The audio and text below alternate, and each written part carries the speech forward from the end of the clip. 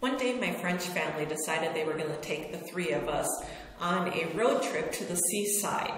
And on this trip, we were going to be stopping at a little park for a picnic. Um, my host mother packed up the basket with all sorts of fun stuff, but we were told that we were going to stop at this little seaside restaurant, which was their favorite, and that we were going to be having oysters. Now, again, I think I've shared, I grew up in a meat and potato type of family, which uh, didn't vary very much from uh, roast beef uh, as far as meats. So, going to a seaside restaurant, I was already a little kind of concerned about what we'd be having and whether or not I was going to uh, like it. So, we got to this little seaside restaurant and they ordered oysters for us. I'd never had oysters before, and because this was a new experience for us, everybody in the family was excited to watch us try our oysters the very first time we'd ever had oysters. So they showed us what to do. The little oysters came on a little tray with some ice, and we had to take it from the shell. And they showed us this little pig and how you kind of go around the shell, and there was some stuff that uh, you could pour onto it or not. And then you were supposed to take the shell and slurp it right on down. So again, being very embarrassed that everybody was watching us, but not wanting to offend my French family, I kind of had to go along with this, even though I was really concerned and a little scared about it. So I did exactly what they said to do, and I slurped it on down, and I can still, to this day, tell you about the consistency, and I remember the little granules of kind of salt in there, and, and the uh, I don't want to say slurpy because that would kind of be ethnocentric, but just the consistency of an oyster, not something I was used to, let alone the whole flavor and the fishy taste of the oyster.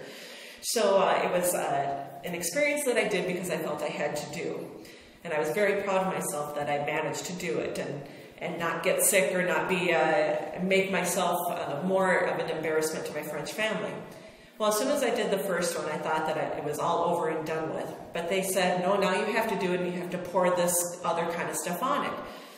So I did that. So it turns out that we ended up, my friend and I, who had never had oysters before, the two of us had to consume three oysters each before the rest of the group got to eat their oysters. So we were kind of on uh, the stage here for three rounds of these oysters.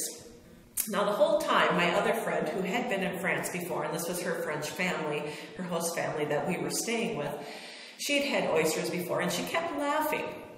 And I thought, there's something up here, but you know, I just thought it was because we had never had oysters before. But when we got back in the car and the laughter didn't cease, and it was again one of those moments where I wasn't really uh, able to understand a lot of the French uh, that was being spoken at the time. I really didn't know what was going on.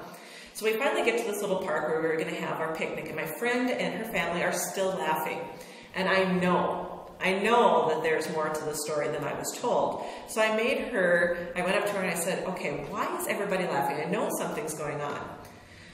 Well, at this point, she gets this big grin on her face, and she said, well, you know, Kari, the oysters, when you ate them, you had to take the fork and detach them, and when you ate them, they were really live.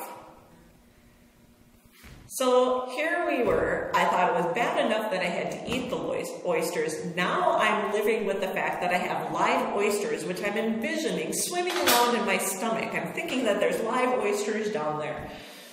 Well, my friend and I uh, decided that we were going to kill them one way or, or another. So the only way we were going to be able to do that was if maybe we added some uh, wine on top of the oysters to help uh, at least forget about the fact that they were live when we ate them. So we kind of had a glass of wine and we were trying to make ourselves feel a little bit better when we're given our first course of our picnic lunch, which was bread with this really kind of dark maroon kind of colored uh, pate on it on the top. So I'm thinking, well, nothing can be worse than live oysters, and we're still laughing and kind of just kind of just, you know, again being ethnocentric, kind of disgusted about the fact that we had just eaten live oysters not that long ago. So I take the bread and I eat that down.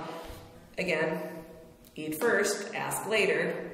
And after I eat that, my friend turns to me and she says, "Well, can't get any worse." She said, "Now you just ate blood sausage." So in the same day, I had live oysters for the first time and blood sausage. And I know I would not have been able to probably manage getting either of those down if I had known what they were ahead of time, just because it was very different from what I was used to eating. So again, when you're traveling, sometimes it's good to eat first, ask later.